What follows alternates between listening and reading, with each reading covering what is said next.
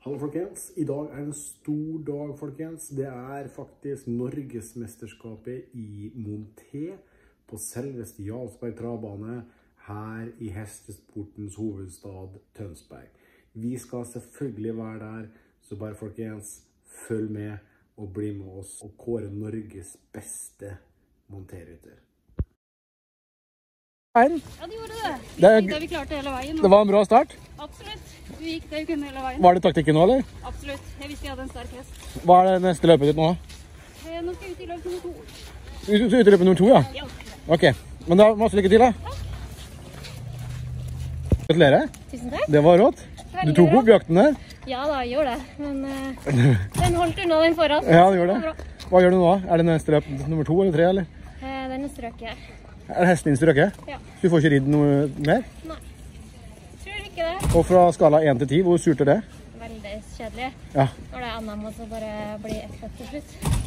Er ikke noen reservehest du kan finne i nærheten her heller, som du kan steppe inn på? Nei.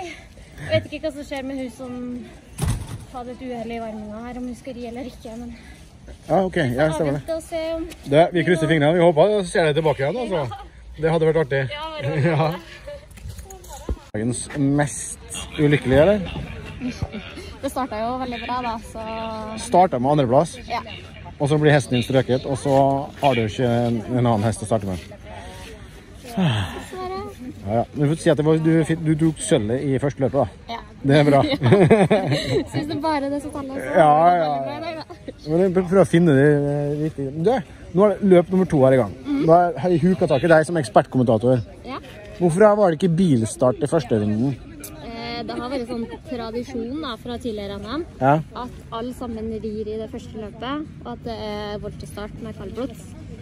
I år så har de gjort det litt annerledes, at det bare var ti kaldblodser som starta. Men Ja. det har nok noe med den tradisjonen at det alltid har vært voltestart. ja ok. Og så er det noe sånn kaldblods og varmblods og alt det greiene der. Mm. Og hva er det her for noe? Det er varmblods. Det er varmblods. Og det, hva var det dere red i stad? Kaldblods. Det var kaldblods. Du ser deg på at de er litt større og litt, litt grovere i typen. Ok. Hva kan du si om løpet her nå?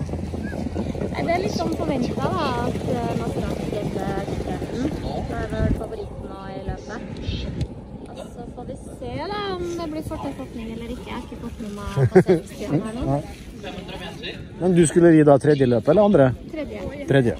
Så, Så spennende med den Helene Koller da. Den har bare gått et muntløp før, og da galopperte den. Men nå har den jo kommet veldig bra i gang.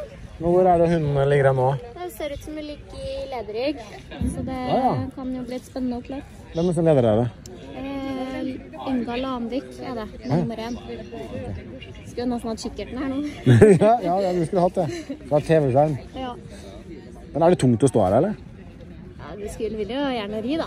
Det Ja. er litt kjedelig om å se på i to løp, det. Ja. Men hvordan er det å være ute på banen og ri to runder? Er, å stå i den 90-graderen her så lenge, liksom? Ja, det er fordel å komme bra forberedt og bra trent, i hvert fall. Ja. Eh, hvis ikke så kan det bli farlig. Hvor mye trener du da? Sånn annet enn hest? Jeg prøver jo i hvert fall fire ganger i uka utenom hest. Fire? Ja, så blir det litt okay. sånn hvor mye du har tid til. Men det, hva ser du her nå? Nå har eh, Janeren ridd litt fort underveis, ser det ut som. Det var vel 12 eller noe første 1000. Nå har Helene kobla grepet der. Og så blir det spennende med Nicolene og Josefine, da. For den er jo egentlig en sterk hest. Og kanskje jeg får drive litt med. Altså, nå er det Helene Kolle, den lokale helten vår. Hvert fall min. Nei, kom igjen, da. Nei, det er full kontroll. Tønsberg-seier i løp nummer to. Har, har hun ett løp igjen, tror du, eller er hun ferdig nå? Eh, Helene er ferdig. Helene Kolle, gratulerer. Tusen takk. Vinner av løp to i NM-løpet her. Ja, det stemmer. Det gikk veldig fint. Hva het hesten? Spice Boss. Var det, hvordan føltes det å ri på den? Ja, Det var veldig bra. Han eh, var fin underveis. Og eh, runden igjen så dro jeg ut i andre spor, og da, da visste han hva han skulle. Så det gikk veldig fint. Jeg har ikke så veldig mye peiling på hest, men jeg har hørt rykter om at du er veldig god til å beregne liksom, løpet og, i forhold til hesten. Tja, Stemmer det, eller? For det så sånn ut. Det var jo et godt disponert løp. Ja da, men eh, jeg pleier å lese meg litt opp på løpet og se hva er hestene sine svakheter og sterke sider. Så Ja. jeg prøver å benytte det så mye som mulig. Så det pleier noen ganger å ikke gå, og noen ganger så går det. Ja, det er bra. Altså, her er hjemmebanen din i Jarlsberg. Det stemmer. Du, hvor ofte er du her nede og rir og kjører hester? Akkurat nå så er jeg i militæret og er egentlig her eh, stort sett eh, når jeg er hjemme, så er jeg nede om travbanen hver dag og ser på. Hvordan er det å være i militæret og prate om hest? Og sitte i kaserna og bare se på løp og sånne ting? Det er veldig kjedelig å være på kaserna når du ser at det er monterløp og travløp som jeg egentlig vil være med på, så Ja. Men det går jo. Eh, Blir de andre i, i, på å si, troppen litt lei, eller? Hesteprat? veldig lei. Ja, det blir det.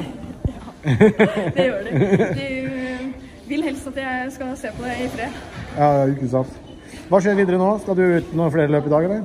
Nei, i dag er jeg ferdig. Ja. Eh, Så får jeg se hvordan de andre rir, og så får vi håpe at jeg kan få noen på grei plassering. Ikke sant. Ja, men det, takk for praten. Tusen takk.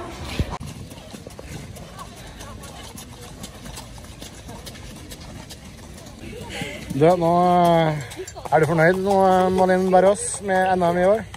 Jeg vil ikke si at jeg er fornøyd, men eh, det, det var vel det beste jeg kunne få. Det var en eh, diska for passgang og en fjerdeplass. Ja. Men eh, hva, hva, liksom, eh, hvor stort henger en sånn NM-løp? Er det en, en sånn gjev greie, eller?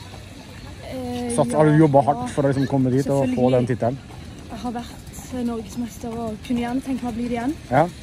Men eh, da må man ha litt flaks og litt eh, bra trekninger og, og litt sånn. Og det hadde jeg absolutt kanskje ikke så vært så veldig heldig i år, men, eh, men det, det, er veldig gøy å delta på sånn en dag og være en av de beste som blir trukket ut. Ja. det, det selvfølgelig det henger høyt.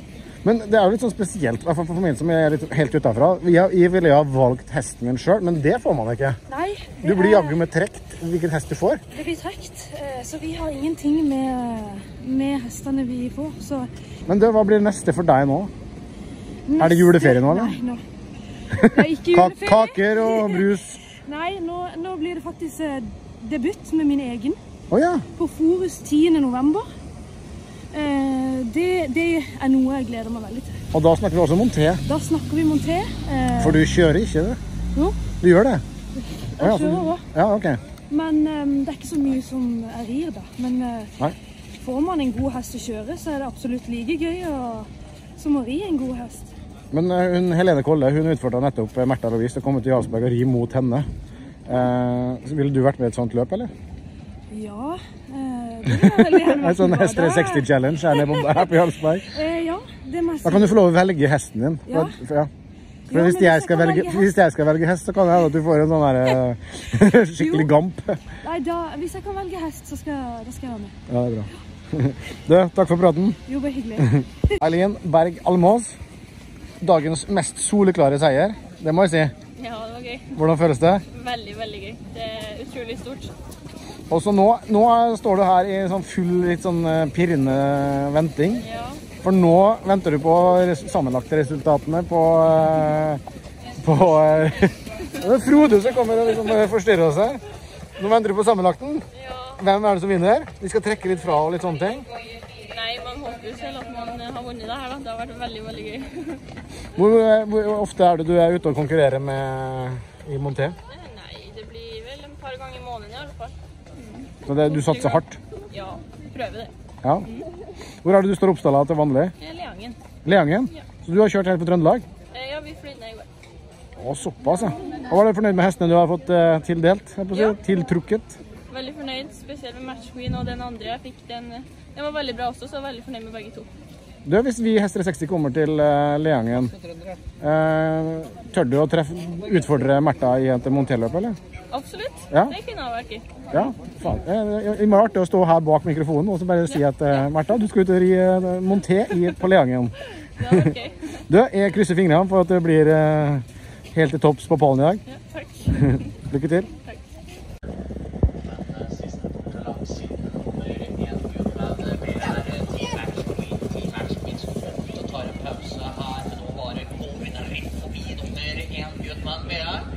Eileen Berg Almås. Vi må lære det navnet her, folkens, for det er norgesmesteren i monté. Gratulerer. Tusen takk.